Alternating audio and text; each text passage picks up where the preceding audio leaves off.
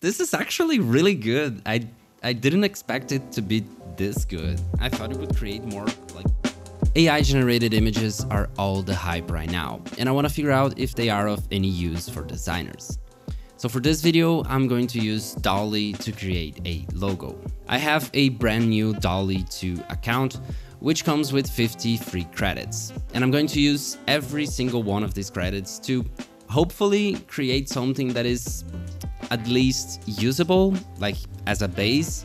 Then we'll take these images into Illustrator and refine it as a final product. For that, I need some kind of a prompt, like a fictional company to create the logo for. I don't want to make things too difficult for DALL-E because I'm not expecting much from the results.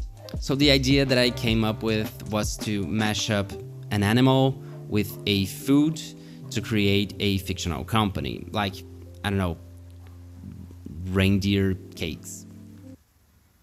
The reasoning behind this is that since these AI generators create things based on real life stuff, I figure it would be easier for, for the generator for DALL-E if we use something that it probably has a lot of knowledge, like animals and food, but I may be totally wrong. I have absolutely no idea. I have here three random generators, one that generates random foods, one that generates random animals, and one that you can enter keywords and it will generate uh, company names. The name of the company won't be all that important, but I figured it is nice to have a company name. So for food, we're gonna go with, okay, cookies. I, I think cookies are a sensible choice. And for animals, let's see. Okay, an alpaca. It's kind of a rough one, not gonna lie. It's, it's not something that it's super easy, but that's what we're going to go with. And I don't think we even need to use Namelix, which is the website for the name generator, because like alpacas and cookies, we can only go with Alpa cookies. That's the reasonable choice. So, okay, let's jump right into DALL-E. I'm gonna close these generators and I'm gonna start with something super simple like a logo of an alpaca, alpaca for a company that sells cookies okay, okay, it's just, it's it's not so bad. Like it it creates gibberish text, but it's not bad. I was I was expecting less. Like this one is reasonable. it's not super bad, but it's also not super good. Like it's nothing original. By the way, all the prompts that you input uh, they are saved here on the sidebar. And you can favorite the ones that you like and you can also select a specific image and generate uh, variations from it. Like for example I'm gonna do it with this one just to see uh, if it comes up with something better. I can click on variations and it will generate like slightly different versions of that same image. Okay that's this is actually really good. I I didn't expect it to be this good. This one is is really good. Like perhaps not like a super original logo, but like it's a very cute illustration. Let's try some different prompts now. Like for example, a logo for a cookie company depicting an alpaca. Okay, this one wasn't all that good as the other one. Like, this is almost something. Like, the face is messed up. I'm gonna try not to use the word cookie just to see what it comes up. Just like a logo of an al alpaca. And I'm gonna try being more specific using some other keywords. For example, a logo of an alpaca and let's add a modern minimalist logo of an alpaca. Uh, it wasn't super good. Like this this looks like I don't know, construction. And this one is just like what is going on with his face for a company that makes cookies. Mm, it's going downhill since we started, man. The faces, man, it just doesn't. DALL-E can do faces. No way it can do faces. Like, what cursed thing is this? Mm. Okay, I'm gonna run a few prompts without me interrupting every second and yeah, I think it, it will look better for the video.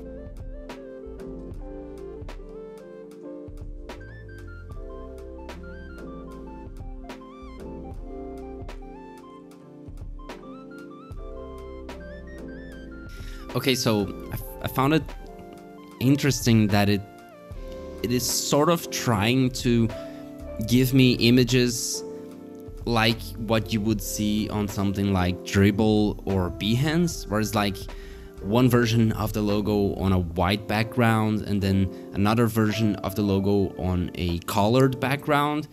That is interesting. Like you can see that DALL-E is learning to create these images from the right sources, which is pretty interesting. Mm. Okay.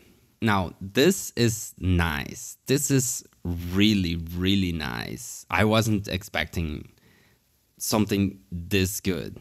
There's a hipster vibe, like it's an alpaca with glasses. I don't know. I don't know where it the glasses idea came from. I'm gonna run some variations on this one. Okay, okay, this is looking really, really good. Look at this one. Like, this is the most hipster alpaca that I've ever seen in my entire life.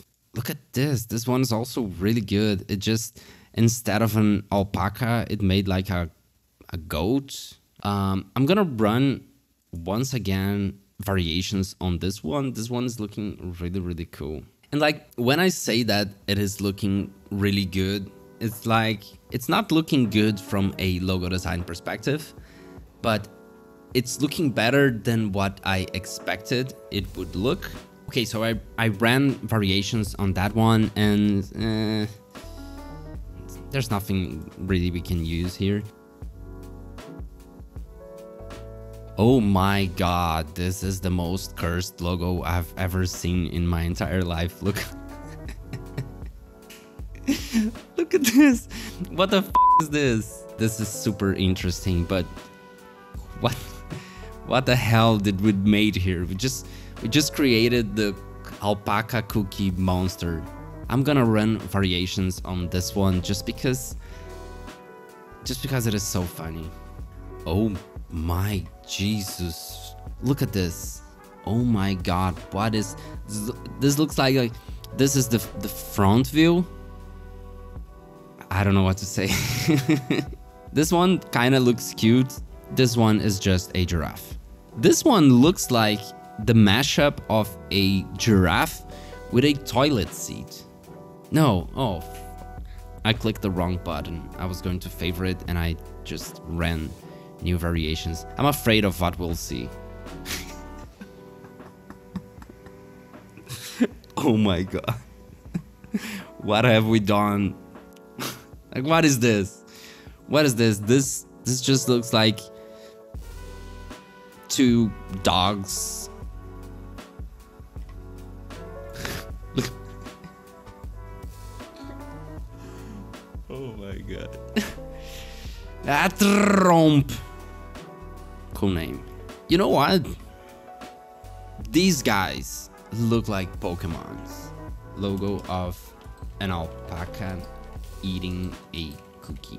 Okay, okay, we're, we're back on track. Uh, this one looks really good. Like, this is a very cute alpaca. It looks like it is eating cheese instead of a cookie. Like, I don't know why DALL-E made a square cookie, but this one looks really, really good. I'm gonna favorite and I'm gonna run some variations. The variations never look really good. Look at this one. This is just Pikachu. DALL-E is making Pokemons.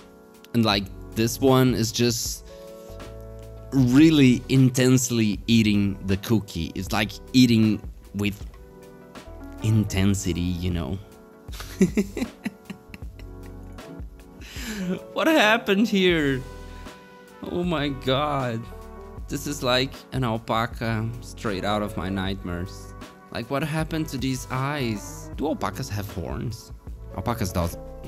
Oh, okay, they don't have horns, but they have they have like these pointy ears. Okay, okay, I can see that. I can see that. This one this one looks like a 90s logo. Okay, now we just got like police badges. This feels like a like the mascot of a police department because it's like it, it looks like it is chewing a padlock and he's saying like I'm gonna arrest you. And this one just straight up has three eyes. What in the name of Christ? Okay, okay. Hear me out. This one is pretty damn good. Like this one, this one is actually really good. Everything, the aesthetics, the colors, everything. This one is really, really good. It's like our best contender so far. Okay, we're we're improving here. We are improving here. Like this is nice. I can see these as a logo. Like I would get rid of this stuff here. Okay, like for the first time, variations are good. These ones are nice. Like overall, this is looking like really good. If if these words made any sense, that would be looking really nice. Like nice colors, nice text, nice font. This one is also like the detail perhaps not for a logo, like perhaps this is too much detail for a logo, like thinking about colors specifically, like the shading and stuff. But I can definitely see this being simplified, like refined for a logo and it totally working. Okay, like it, it feels like it is somewhat improving. like this one looks like an alpaca had a baby with a wolf this one is looking really good. Like this one is like an alpaca that had a baby with a dog. I appreciate the effort of trying to write the bakery's name. And remember, you remember this? This is the very first prompt. I'm gonna run variations on you again. Okay, we're we're on we're on Halloween vibes now. We just have like a vampire alpaca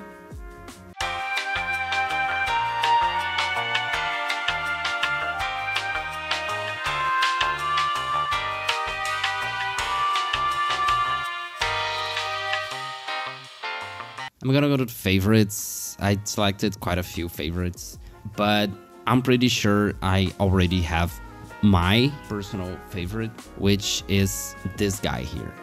Okay, so now I'm gonna open the image that I selected and I'm gonna refine it in Illustrator. I'm not gonna overwork it. I'm not gonna do much because the objective of this video was to see how far could we push DALL-E into creating something that was already good. And after I'm done in Illustrator, I'm gonna tell you my considerations. What did I think of the process? If I think it's worth it or not. Okay, so let's jump into Illustrator and finish this creation process until we have uh, the final product.